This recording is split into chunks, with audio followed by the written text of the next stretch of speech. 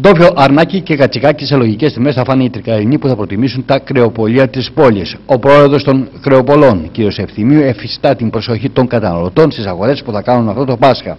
Όπως ανέφερε στην ΤΕΤ, οι τιμές στα ντόπια αρνάκι κυμαίνονται από 8 έως 9 ευρώ, στα κατσικάκια από 8,5 έως 9,5, οι σηκωδαριέ τιμώνται στα 8 ευρώ και τα εντόστια στα 5 ευρώ.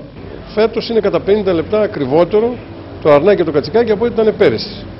Ε, αυτό οφείλεται στο ότι δεν υπάρχει ιδιαίτερα μεγάλη παραγωγή. Είχαν πάρα πολλές απώλειες κατά την περίοδο του χειμώνα με αποτέλεσμα υπά, ε, έχοντας ζήτηση η τιμή αυξήθηκε λιγάκι και αυξήθηκε από τον παραγωγό όχι από τον κρεοπόλη, να το διευκρινίζω.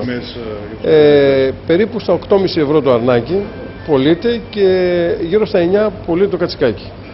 Και θεωρώ ότι με πολύ πολύ μικρό ποσοστό κέρδος φέτος ε, προσπαθούμε και εμείς να στηρίξουμε τον καταναλωτή. Αλλά είμαστε τα παραδοσιακά αγροπολία, είναι τα αγροπολία αυτά τα οποία ε, έρχονται άμεσα σε επαφή και με τον καταναλωτή και όχι μόνο, αλλά και με τον παραγωγό. Είναι ο συνδετήριος κρίκος της ε, διατροφικής αλυσίδας στην περιοχή μας.